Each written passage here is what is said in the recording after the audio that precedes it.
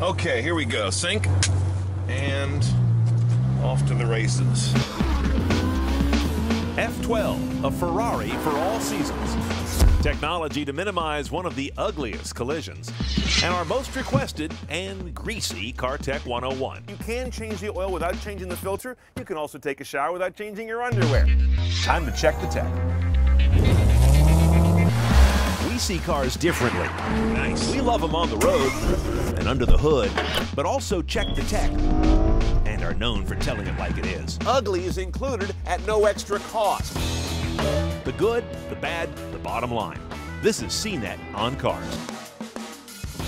I'm Brian Cooley. Welcome to CNET on Cars, the show all about high-tech cars and modern driving. You know, it's not too hard to name some really incredible luxury cars, nor to come up with a list of incredibly fast ones. Even nice-looking cars you might see every day. But to put all those attributes together into one, that's a pretty good trick still, until you run into a Ferrari F12. So we drove one recently to examine it through all those lenses. And of course, to check the tech.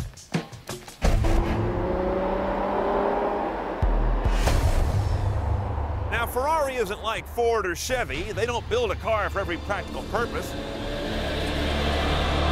They build a car for every impractical purpose.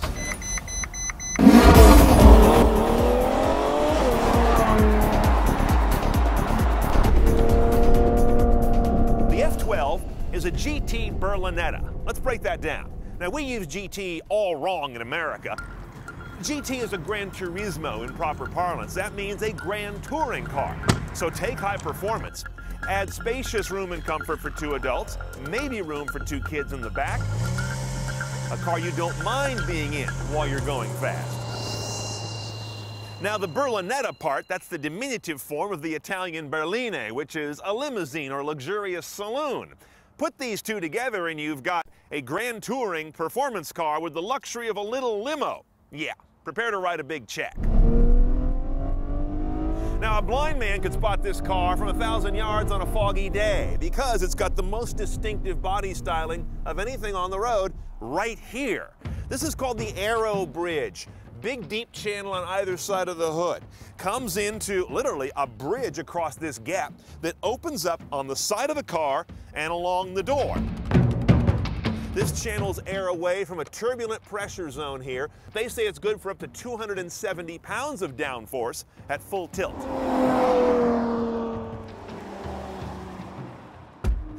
Inside, this cabin harkens to me back to the early mid 60s 250 GTs, which had this kind of protruding eyebrow design like this. Of course, those have now moved to LCD panels, replaced by some very handy nozzles. Big central actual tach, and that's your only gauge.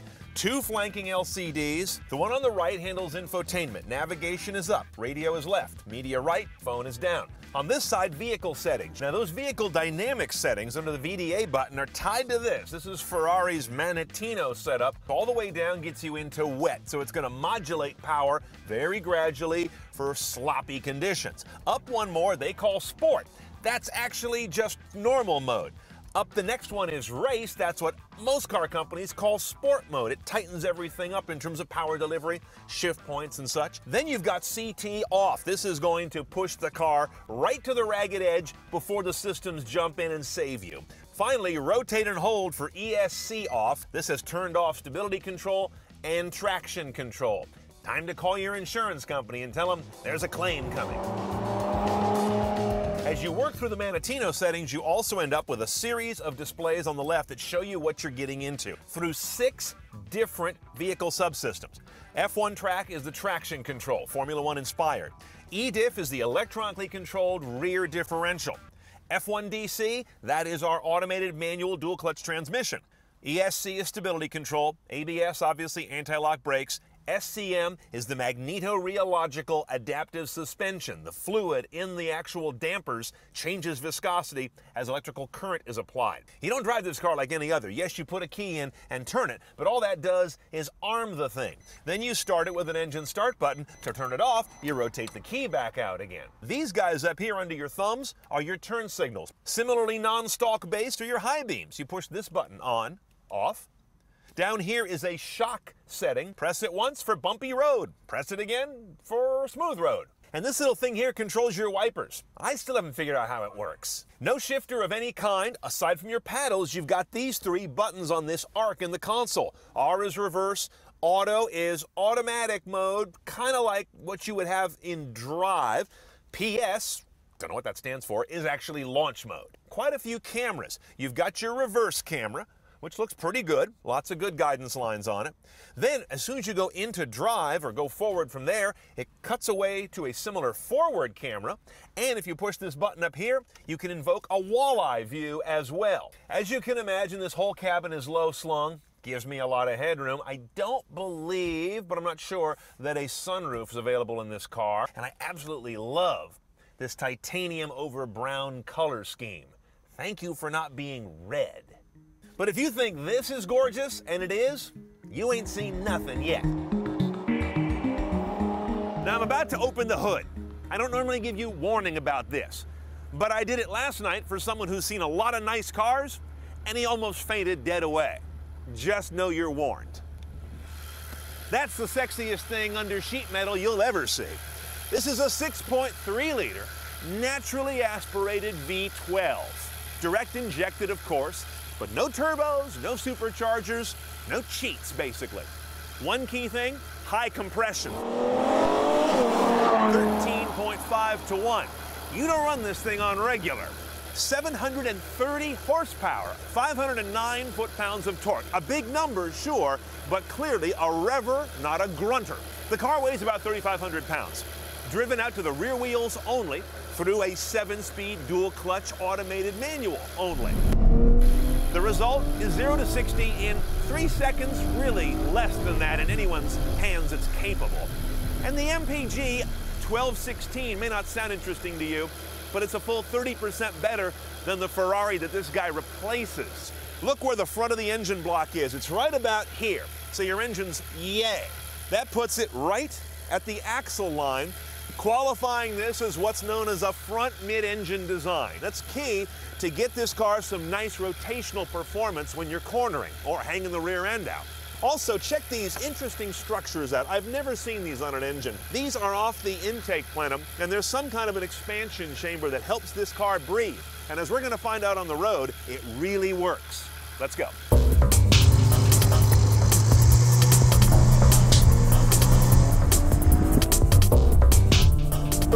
This is one of the most civilized driving dual clutch high performance cars I've ever driven. It's really, really nice. It's all there. This power comes on almost freakishly. That's the beauty of an engine like this that is so tuned for great breathing. It's how they got that incredible power without putting any augmented intake on it. The ride quality is really quite good. This is not a great highway I'm on right here, but it's it's tamping out all the nasty stuff. And the nice sort of laid back driving position in this car, there's just, you're in the slot when you're sitting on this side. Because the engine is so responsive, because the aluminum subframe and structure of this car is so stiff and relatively light, it seems to lose a thousand pounds off its 3,500 some odd pound printed weight. The car doesn't feel that heavy at all. What's really going on here is the trend in supercar manufacture to make these vehicles incredibly fast, incredibly capable in their dynamics, but also really easy to drive. Okay, let's price our 2014 F12, just for kicks. It's about 330 grand. There are a few options to get it fully CNET style. I think the cameras are an optional package and a few other things, but it doesn't matter. You're not going to swing one any sooner than I can. By the way, our time in that F12 came courtesy of its owner, a good friend and a great fan of CNET on cars. Now, the engine in that car, 6.3 V12, is going to make another appearance soon in Ferrari's first hybrid, a car they call La Ferrari. If you happen to know one of the 499 people who'll be allowed to buy one, drop me an email. We'll reach out and see if we can take it for a spin and bring that one to you as well. Now, there's no kind of accident you want to get into, but there are some you don't want to get into more than others, and the rear underride collision is probably on that list. Diabolical for the way it can defeat many of the safety advances of the last few decades. Smarter Driver wants to pay attention right now.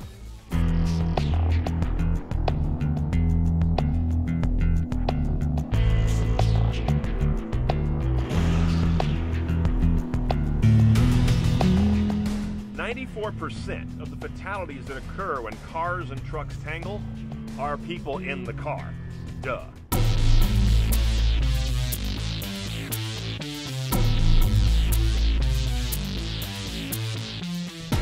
And one of the nastiest kinds of those accidents is the rear underride, when you slam into the back of one of those big semi-trailers. A collision so nasty it became this iconic scene in that movie from the early 70s, The Seven Ups. You see that one with Roy Scheider?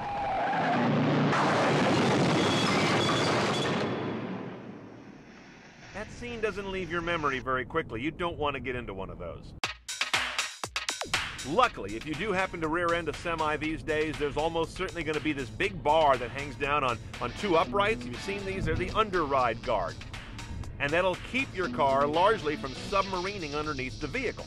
But if you hit one dead on from the rear, odds are pretty good your car's front crumple zone is going to engage it, and that's going to largely protect you inside your vehicle. The federal government requires that the backs of semi-truck trailers have underride guards to prevent vehicles from sliding underneath them in the event of a crash. Plus, those guards vary widely in strength. There's not a really good high standard across the industry. Some trailer makers build them real tough, others don't, and they collapse far too easily. The weakest underride guard in our test series was on a Hyundai trailer. When this Malibu struck the Hyundai in the rear in a center impact at 35 miles per hour, the guard was simply pushed out of the way. The attachment bolts broke. The damage to the Malibu was so severe that real people in this crash probably would have died. Now, while about 12% of car truck fatalities are underride rear end collisions, there's a whole big risk of side underride if you come broadside under a trailer or hit that at like a 45 degree. Even at speeds as low as 35 miles an hour, cars often submarine under the side of the underride guard and that's much rarer to see the kind of guards that prevent that. They're much more common in Europe. Now, things have been getting a lot better on those underride guards. First of all, they used to be required to be, I think, 60 inches wide. Now I believe they have to be at least 94 inches wide, up to, I think, 110 inches. So there's a lot more width there to find the sweet spot. And while many of the trailer manufacturers are doing a better job of voluntarily making them stronger, there's been a petitioning of the federal government by the insurance industry to adopt a tougher Canadian standard that dates back to 2007. But again, it's not mandatory in the U.S. And some big trucks don't have an underride guard at all because of the mechanical complexity of it. Look at a dump truck, for example, because the bed has to tilt, the underride guard would get in the way and clip the ground or the wheels. Similar for some of those big dump trailer semis you see. So here's what the smarter driver does. You allow more space as you're about to make a lane change out from behind a semi. Because the problem is, as you're turning to look for a clear lane, what if that truck slows down a lot? Suddenly you're starting your lane change, he's stopping down, and you take a glancing blow on that underride guard. It's the one you don't want to have. Coming up, the CarTech 101 you've been asking for longer than any other. Oil is going to keep coming out. It's the damnedest thing. I don't get it. When CNET on Cars rolls on.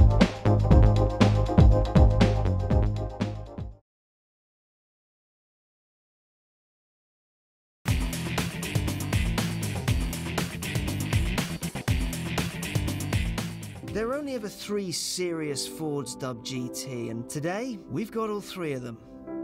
But there's one that's really interesting. It's the Mark III, and it was only made for road use.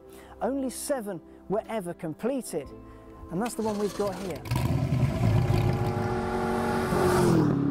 This is just incredible. You don't so much drive it as sort of lie down in it. More love of cars at cnet.com slash xcar. Welcome back to CNET on Cars, coming to you from our home here at the Marin Clubhouse of Cars DeWittiac, just north of the Golden Gate Bridge. You know, I feel a little bad about this next Car Tech 101 because it isn't really tech, although it is definitely a 101, as well as your most requested ever for this segment. Here it is how to change your oil the right way. Now, as you can see, we're going to be using the old Country Squire as our oil change mule which you might say is a little outdated, except it points up an interesting reality about oil changes. Doing them has not really changed since your old man was learning how to do so. It's still the same basic process. First of all, start off by idling your car from cold for a couple of minutes. No more than that, or you're going to get scalded. If the car's already been running, let it cool down a bit and then shut her down. Next, get your car up in the air, either on jack stands or my preference on ramps. They're just easier. Or in a pinch, you can actually park diagonally across the curb and crawl in the gutter if it's dry. And don't forget to chalk one of your back wheels. Okay, now your car's up on ramps, cooling off a little bit but staying warm, you get your stuff together. First and foremost, you need your oil. Typically about five quarts. Your owner's manual in the maintenance section will tell you how much. We'll talk about grades and weights later when we actually fill the car. Next thing, make sure you get a funnel to pour it in with. If you don't have one of these, you're gonna make a mess all over the place when you're filling. A wrench to get the drain plug off the bottom of the pan, that's how the oil gets out of the car. And a filter wrench. This thing is what goes around the filter and takes it off. You don't use it to put the filter on, however. That brings us to the filter. Again, any name brand or one from the parts counter at your auto store. And you can change the oil without changing the filter. You can also take a shower without changing your underwear. I'll leave it at that. The oil goes into some kind of a catch container. You can use an open pan or one of these that seals up so it's easier to take it to the recycle place later, and you have to do that. And finally, to keep yourself presentable after all this, a box of these nitrile gloves and a microfiber rag. You'll see why microfiber is important when we're busy filling up the car. Let's go. First thing you do is take the cap off the oil filler neck. It's going to be a very obvious thing somewhere in the top, center, front of your engine. Put that where you don't lose it. You do this right off the bat because otherwise there could be a vacuum in the engine that prevents all the oil from draining out. And that's where we're going next, underneath, the dirty part. Now the first thing you want to identify is the crankcase, the pan underneath the engine here to take off our drain bolts. But notice your car may have two like this one does because there's a valley in the pan to accommodate a cross member and you got to drain one at a time. I'm going to start with the one in the back because that's the way the car is leaning. Here's the maxim about changing oil. No matter how long you leave this plug out, oil is going to keep coming out. It's the damnedest thing. I don't get it. It's like going to the fountain at Lourdes. Now, some cars, they want you to use a new washer on this drain bolt. I'm pretty lazy. I normally don't. And it seems to work just fine. Nice, clean, shiny drain bolt. That's what you want to see. Now, carefully rethread that drain plug back in. You don't want to cross thread or strip those threads. That's a real nightmare. Go ahead and snug it up. Don't go too far. You can easily strip these things. Snug is fine.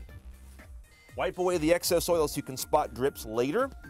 And now I gotta go do the front chamber. Okay, so we've emptied out our crankcase. We put both of our drain bolts back in and we cleaned up around them so we can spot leaks, but we're not done yet. We've got to pull that filter off and it's got oil in it as well. Now we're going to use this filter wrench. This thing goes around the filter, grabs it, and unscrews it. You got to get the orientation right. And I like these ones here that you attach your own ratchet to because it's a smaller apparatus to store. Go about a third of the way down the body, and then just turn this thing counterclockwise like anything else you'd loosen, and it starts to come away from the block. Once you get it loose, pull the tool, and you can do the rest by hand. Once you get this thing off, immediately tip it down into your pan here and drain it. And just let that thing sit there and do its nasty business.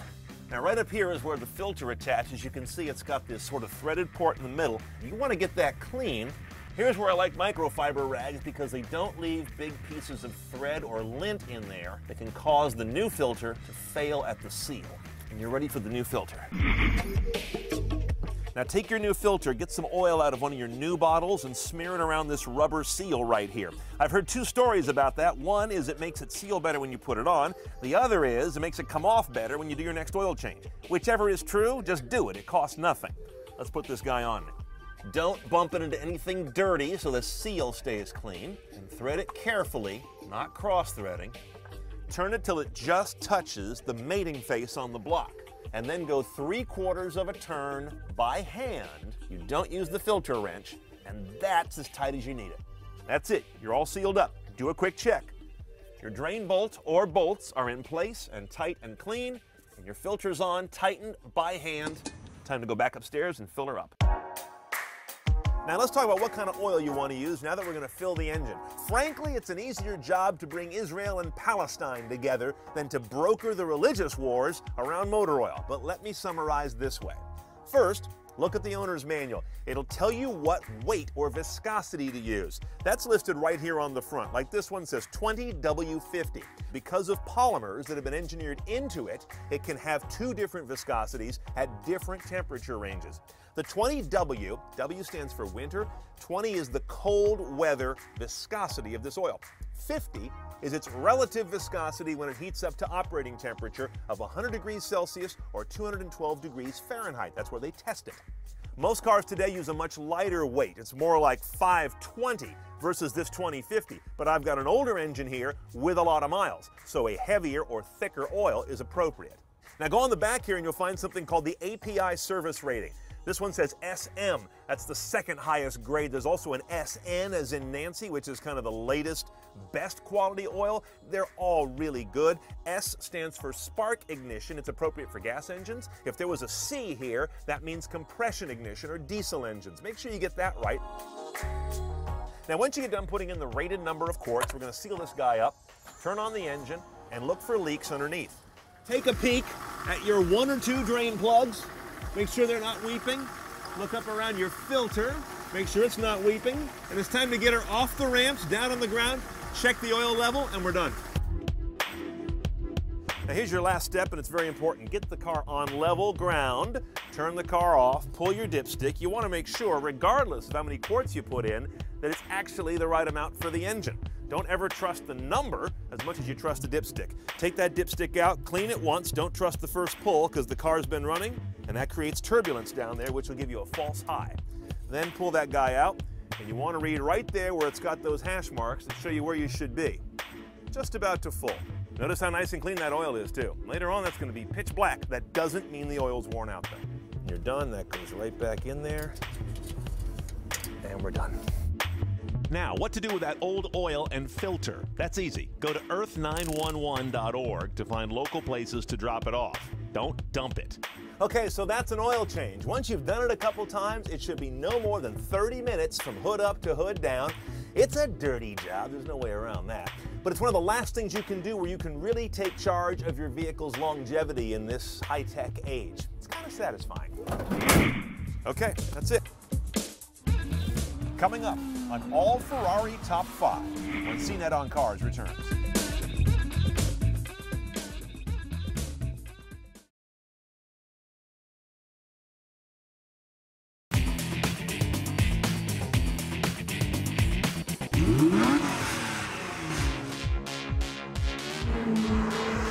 Start with a Boxster, earn your roof with a Cayman, then earn your right to rear seats in a 911. Nice. But why was the Cayman so good? Because it's far, far more capable than you are. Its chassis can take more power, it makes an incredible noise, and it does one thing that a lot of others simply don't. More love of cars at cnet.com slash xcar. Welcome back to CNET on Cars. I'm Brian Cooley. Here's a part of the show we take your email. Questions either about things we've talked about or things you'd like us to talk about. Starting off with one from Mansour, who's writing in from the UAE. And he asks, Hey Cooley, if it was your money spending on a car today and they still made cars with carbs, which would you buy, that or fuel injected? That's a hands down easy answer fuel injection, especially in its latest derivation, direct injection.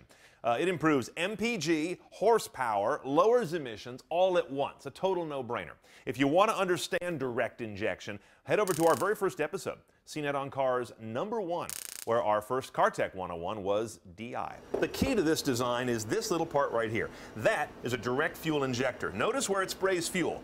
Now, I'm no stranger to carburetors, however, which brings us to our next email. This one comes in from Arth, who says, uh, You've reviewed a lot of cars on CNET, but I would like to know which cars you've owned in the past and what do you drive currently? Hmm. Be careful what you ask for, Arth. My daily driver is an 88 Ford Country Squire, if you even know what that is. A lot of folks know it by sight, but not by name. But I've also got a bunch of carbureted cars. I have a 68 Fiat 850 Coupe and a 67 Mercury Cougar, so I know my way around Weber and Autolite carburetors uh, more than I'd like to some weekends. I've owned a bunch of other interesting older cars as well, and I've got a slideshow on those that we did a couple years ago. You can find the link over at cnetoncars.com in the show notes for this episode.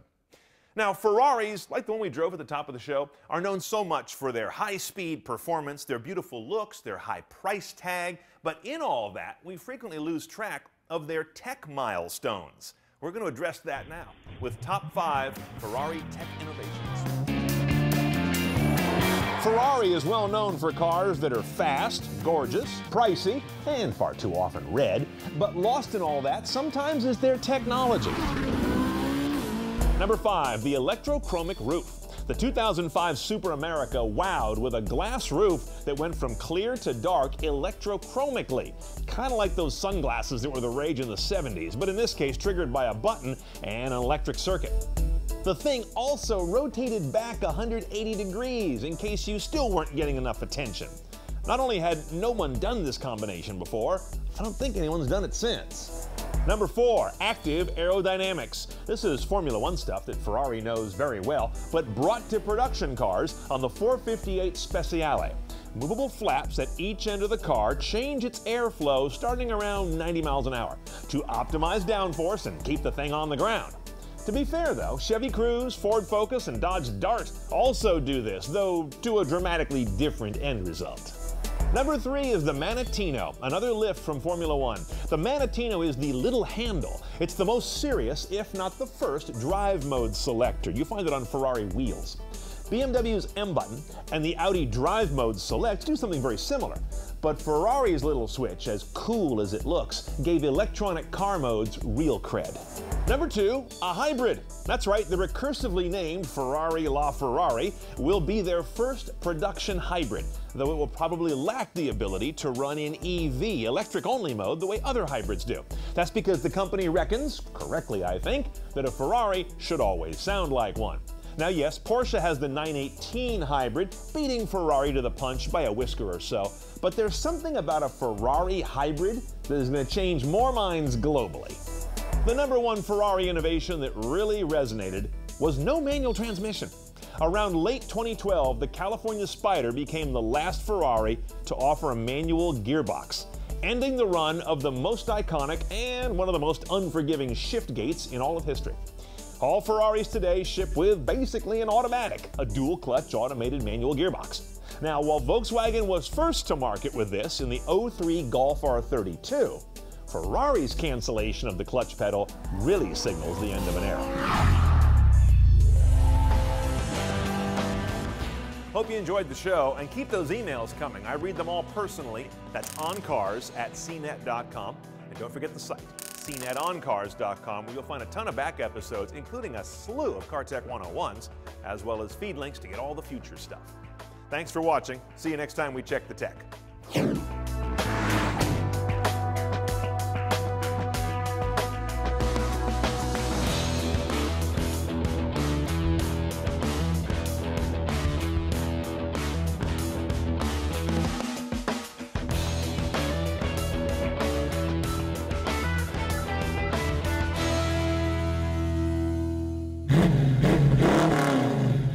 Okay, I think we're good there.